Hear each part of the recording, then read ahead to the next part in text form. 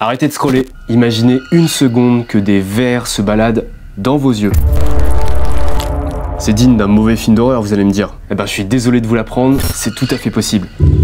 On parle ici d'un terrible parasite que l'on peut rencontrer en forêt d'Afrique équatoriale et qui est dénommé Loa Loa. Alors je préviens les âmes sensibles, cet épisode comprend des images qui peuvent vous choquer. Notre film d'horreur commence lorsque cette espèce de mouche vous pique et vous transmet le parasite.